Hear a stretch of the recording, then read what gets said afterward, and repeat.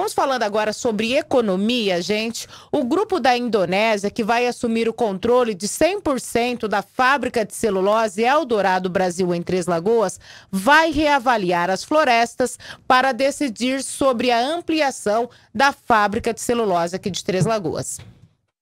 A Paper Excelência é controlada por uma das famílias mais ricas da Indonésia. O grupo tem fábricas no Canadá, França e agora no Brasil.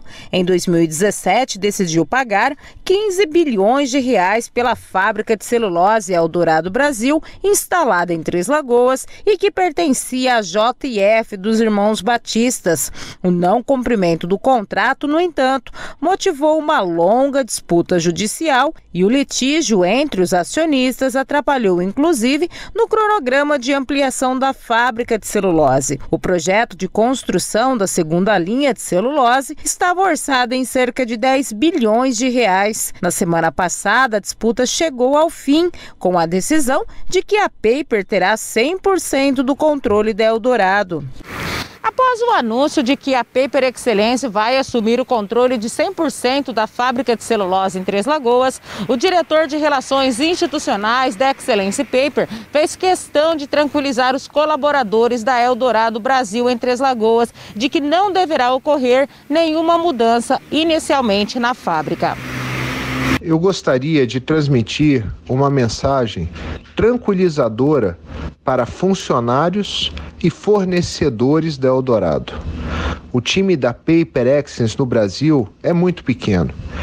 E, obviamente, nós necessitaremos de vocês que fizeram um trabalho belíssimo até aqui para que possamos, a partir da nossa planta em Mato Grosso do Sul, mostrar a qualidade e os serviços da Eldorado para todo mundo.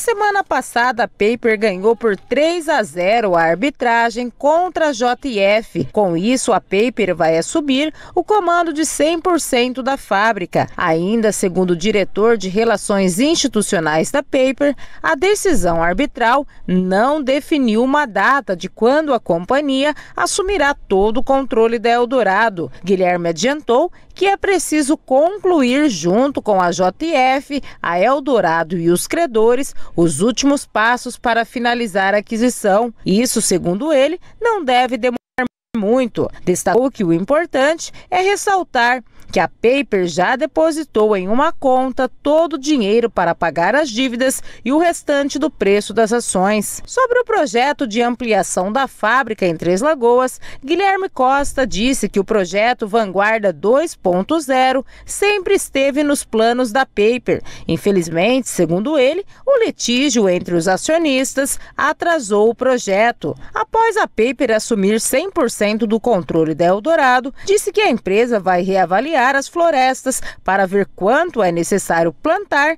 para suportar uma expansão da capacidade e rever o mercado de celulose pós-Covid. A aquisição da Eldorado, segundo o diretor, é a porta de entrada do grupo no Brasil, que é bastante competitivo neste setor. Desde a sua fundação, a Paper tem crescido com aquisições estratégicas em várias regiões e o Brasil, segundo a companhia, sempre esteve nos planos do grupo.